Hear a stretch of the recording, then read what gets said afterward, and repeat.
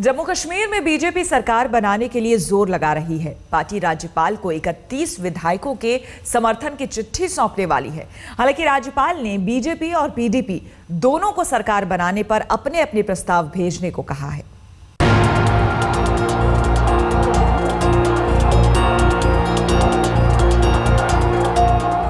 जम्मू कश्मीर में सरकार बनने का फॉर्मूला क्या होगा?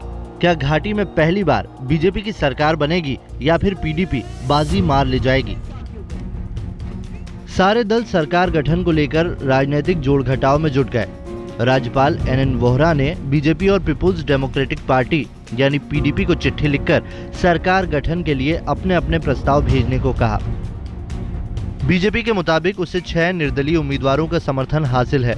बीजेपी के पास खुद 25 विधायक हैं ऐसे में निर्दलीय के समर्थन के बाद उसकी ताकत 31 हो जाती है।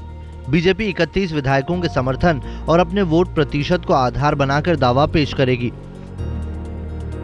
देखिए, बातचीत हो रही है, दोनों दलों से बात हो रही है, लेकिन अभी तक कोई बात नहीं बन पाई है।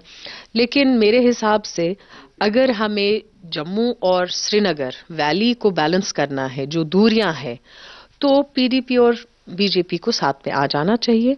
चाहे उनकी सीटें कितनी हैं और हमारी कितनी हैं, एक बैलेंस गवर्नमेंट बनाना जल्द से जल्द बहुत ज़्यादा ज़रूरी है। बीजेपी जम्मू कश्मीर में सरकार बनाने के सपने देख रही है। उसे एक भरोसेमंद साथी की ज़रूरत है, लेकिन यहाँ जंग सरकार में नंबर वन होने की है। बीजेपी को पीडीपी ने साफ़ संकेत दे दिए। करार तभी होगा जब मुख्यमंत्री की कुर्सी उसके खाते में पूरे छह साल के लिए आएगी। अनुच्छेद 370 पर कोई बातचीत नहीं होगी।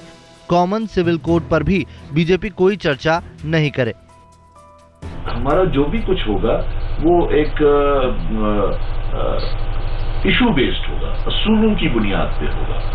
ऐसे असूल जिसपे वो भी राज़ी हो, जो भी हमारे पार्टनर्स बने, वो भी राज़ी हो, हम भी राज़ी हो, और जो रियासत जम्मू कश्मीर की मजमुई फला व बहबूद के लिए बेहतर होगा मजमुई तौर वो ही उस किस्म की सरकार की हम तलाश बीजेपी का खेल बिगाड़ने में कांग्रेस और नेशनल कॉन्फ्रेंस पीछे नहीं है।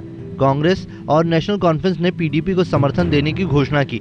साफ़ है ये प्रस्ताव सिर्फ़ बीजेपी को राज्य की सत्ता से दूर रखने की कोशिश के मद्देनजर भेजा गया। हालाँकि पीडीपी ने नेशनल कॉन्फ्रेंस के मौखिक प्रस्ताव को खारिज कर दिया।